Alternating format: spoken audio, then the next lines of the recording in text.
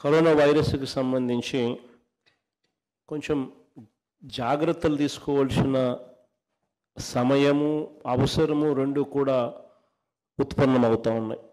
So I think you know the fact that తెలంగాణలో ఒక case has been registered the fact that middle ఈస్ట్లో it's spreading quite rapidly ఇవన్నీ కొంచెం మనం సీరియస్గా తీసుకోవాల్సిన పరిణామాలు.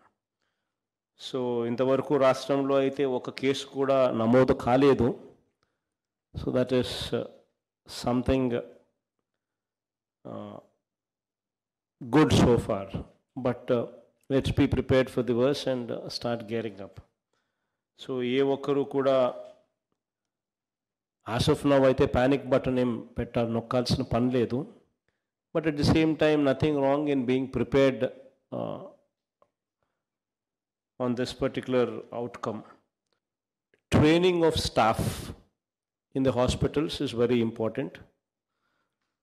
DMHO ను పూర్తిగా లూప్లో తీసుకుని how the staff is to be trained అనే దాని మీద ఒక కార్యాచరణ రూపొందించి please make sure the staff is trained and you supervise that number two then third point is awareness among people ఇది ఎలా వస్తుంది దీని సిమ్టమ్స్ ఏంటివి ఇది వస్తే ఏం చేయాలి? Three categories.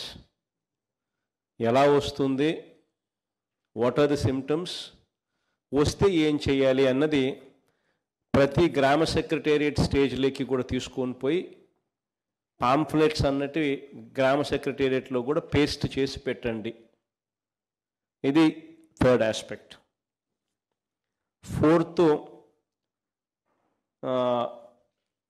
health department should make sure that body masks and mouth masks ఈ రెండు కూడా అవైలబుల్గా ఉంచుకునేదానికి ఏమేం చేయాలనో ఆర్డర్స్ ఇప్పుడు ఇస్తే బెటరు బికాస్ అన్ని ప్రొక్యూర్ చేసేదానికి కొంచెం టైం పడుతుంది.